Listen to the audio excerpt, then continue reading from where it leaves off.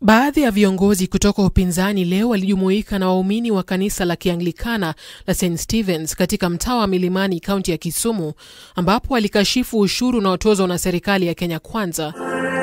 Wakiongozwa na kinara wa Azimio la Umoja Raila Odinga, viongozi hao wamelitaka kanisa la Kianglikana kuendelea kuiwajibisha serikali, wakitoa wito kwa viongozi wa kanisa hilo kuunga mkono harakati za kupunguza gharama ya maisha.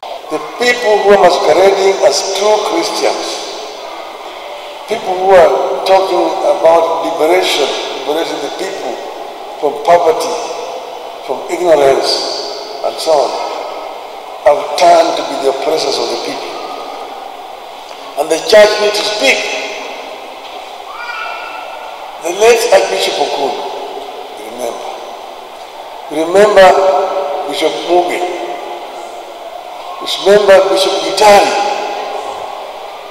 These are the clergy that were prepared to stand up and speak the truth at the time when to speak the truth was actually seen as treason. The state capture is real.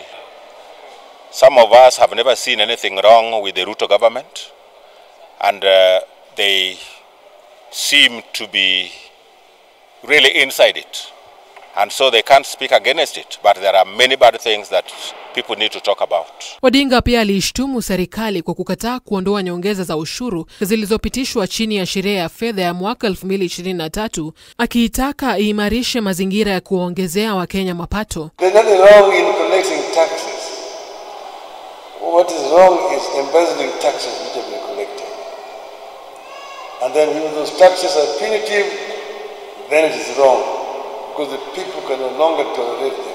Wengine waliokuwepo katika ibada hiyo ni pamoja na gavana wa Kisumu Anyang' Nyong'o ambaye aliikashifu serikali kwa kutotekeleza mfumo wa ushuru unaowajali wa Kenya. Stop this expensive taxation, where even a young man who gets married pays a tax to the government.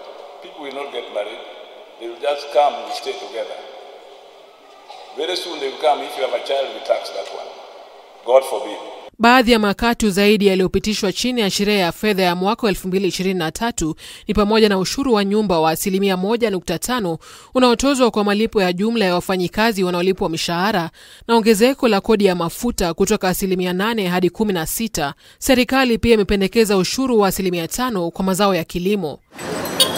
Lakini Rais William Ruto ameshikilia kuwa makato hayo yanahitajika ili kuiwezesha nchi kulipa mikopo ambayo sasa inafikia asilimia 68.3 ya pato la nchi kulingana na takwimu za shirika la fedha la kimataifa. Upinzani hata hivyo unasema ufisadi katika serikali ndiyo unaosababisha upungufu wa fedha. The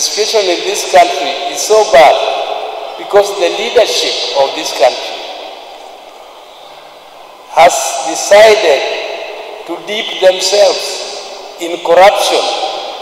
And therefore, whatever they do, even if they raise taxes to whatever level, they will never be able to collect revenue to offer services to this country. Chama cha Odinga cha ODM kitaanza awamu ya pili ya zoezi la kuwasajili wanachama katika kaunti ya Busia hapo kesho kama njia ya kuimarisha ushawishi wake kabla ya uchaguzi mkuu wa mwaka 2027. Muriel Adhiambo, runinga ya K24.